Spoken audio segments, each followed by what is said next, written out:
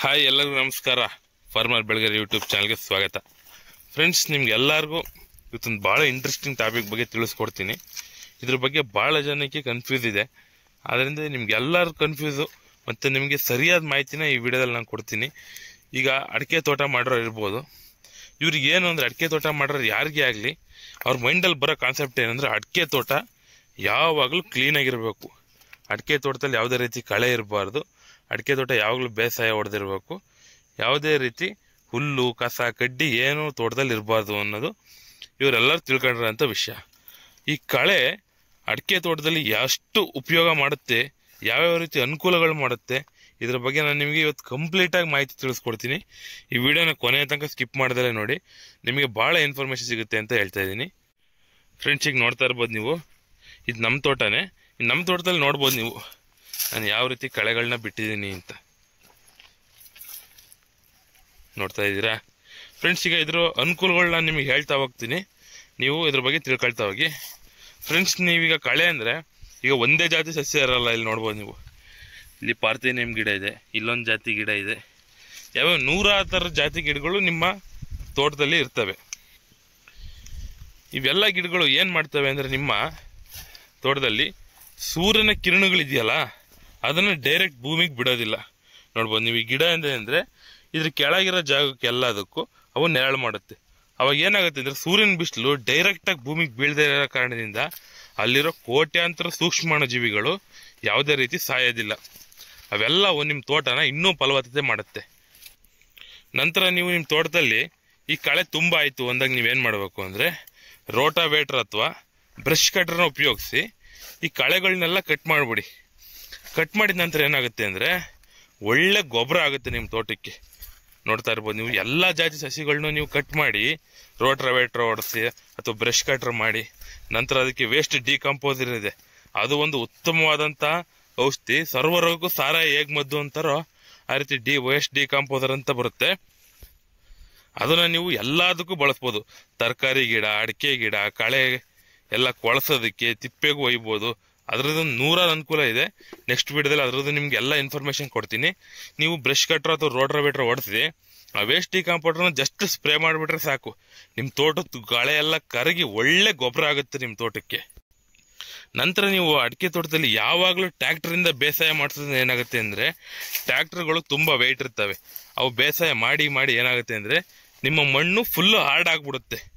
ನಿಮ್ಮ ಮಣ್ಣು ಸ್ಮೂತ್ ಆಗಲ್ಲ ಹಾರ್ಡ್ ಆಗಿಬಿಡುತ್ತೆ.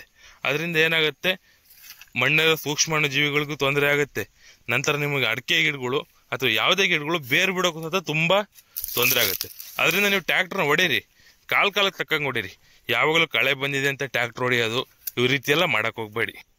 ನಿಮ್ಮ ತೋಟದಲ್ಲಿ ಬೆಳೆದಿರುವಂಥ ಎಲ್ಲ ಕಳೆ ಗಿಡಗಳು ಒಂದೊಂದು ಔಷಧಿ ಗುಣಗಳನ್ನ ಹೊಂದಿರ್ತವೆ ನೂರಾರು ಜಾತಿ, ಸಾವಿರಾರು ಜಾತಿ ಗಿಡಗಳು ಇರ್ತವೆ ಅವನ್ನೆಲ್ಲವನ್ನು ನೀವು ಕಟ್ ಮಾಡಿ ಇಲ್ಲೇ ಗೊಬ್ಬರ ಮಾಡೋದ್ರಿಂದ ನಿಮ್ಮ ತೋಟದ ಫಲವತ್ತತೆಯೂ ತುಂಬ ಚೆನ್ನಾಗಾಗುತ್ತೆ.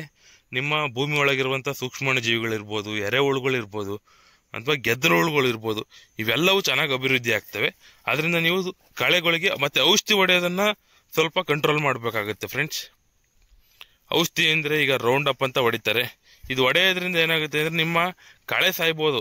ಕಳೆ ಜೊತೆಗೆ ನಿಮ್ಮ ತೋಟದಲ್ಲಿರುವಂತಹ ಅತ್ಯಮೂಲ್ಯವಾದ ಸೂಕ್ಷ್ಮಾಣು ಜೀವಿಗಳು ಸಾಯ್ತವೆ. ಎರೆಹುಳುಗಳು ಸಾಯ್ತವೆ. ಗೆದ್ಲು ಹುಳುಗಳು ಸಾಯ್ತವೆ. ಇವೆಲ್ಲ ಸತ್ತು ಅಂದರೆ ನಿಮ್ಮ ತೋಟ ಇದ್ದಿದ್ದು ವೇಸ್ಟೇ ಅದರಿಂದ ನೀವು ಯಾವುದೇ ಕಾರಣಕ್ಕೂ ಔಷಧಿ ಹೊಡೆದ ಸ್ವಲ್ಪ ಕಡಿಮೆ ಮಾಡಿ, ಸ್ವಲ್ಪ ಅಲ್ಲ ನೀವು ಹಂಡ್ರೆಡ್ ಪರ್ಸೆಂಟ್ ಕಮ್ಮಿ ಮಾಡಿ. ನಿಮಗೆ ಕಳೆ ಏನೇ ಕಾರಣಕ್ಕೂ ನಿಮಗೆ ತೊಂದರೆ ಮಾಡಲ್ಲ. ಈ ತೋಟ ಮಾಡೋರ ಮೈಂಡಲ್ಲೆಲ್ಲ ಇರುವಂಥ ಒಂದು ಕನ್ಫ್ಯೂಸ್ ಏನು ಅಂದರೆ ನಾವು ನಮ್ಮ ತೋಟದ ಗಿಡಗಳಿಗೆ ಹಾಕೋ ಗೊಬ್ಬರಗಳನ್ನೆಲ್ಲ ಈ ಕಳೆಗಳೇ ತಿಂದಾಕ್ಬಿಡುತ್ತೆ ಅಂತ. ಫ್ರೆಂಡ್ಸ್, ಕಳೆಗಳು ಅಂದರೆ ಇವೇನು ನಿಮ್ಮ ಅಡಿಕೆ ತೋಟದಷ್ಟು ಅಥವಾ ಅಡಿಕೆ ಗಿಡದಷ್ಟು ಎತ್ತರ ಇರಲ್ಲ. ಇದು ಯಾವುದೇ ಜಾಸ್ತಿ ಏನು ಪೋಷಕಾಂಶಗಳನ್ನ ಎಳ್ಕೊಳಲ್ಲ ಅದೇ ರೀತಿ ಇವೇನಾದ್ರು ಪೋಷಕಾಂಶಗಳನ್ನ ಎಳ್ಕೊಂಡು ಅಂದ್ರೂ ನೀವು ಇವನ್ನ ಇಲ್ಲೇ ಗೊಚ್ಚಿ ಗೊಬ್ಬರ ಮಾಡೋದ್ರಿಂದ ಆ ಪೋಷಕಾಂಶ ಮತ್ತೆ ನಿಮ್ಮ ಮಣ್ಣಿಗೆ ಸೇರುತ್ತೆ. ನಿಮ್ಮ ಮಣ್ಣಿಂದ ನಿಮ್ಮ ಅಡಿಕೆ ಗಿಡಗಳಿಗೆ ಸೇರುತ್ತೆ. ನಿಮ್ಗೆ ಏನಾದ್ರು ಅಂಥ ಭಯ ಇತ್ತು ಅಂದರೆ ನಿಮ್ಮ ಅಡಿಕೆ ಗಿಡ ಇದೆಯಾ? ಅದ್ರ ಸುತ್ತ ಇರೋ ಕಳೆಗಳನ್ನ ಸ್ವಲ್ಪ ಬೇಕಾದ್ರೆ ಕ್ಲೀನ್ ಮಾಡ್ಕೊಳ್ಳಿ. ನಂತರ ಬಿರೋ ಕಳೆಗಳನ್ನ ನಾನು ಹೇಳಿರೋ ಥರ ಯಾವಾಗಲಾದ್ರು ಬ್ರಷ್ ಕಟ್ರ ಅಥವಾ ರೋಟ್ರ ವೆಟ್ರ ಹೊಡೆಸಿ ಕ್ಲೀನ್ ಮಾಡಿ.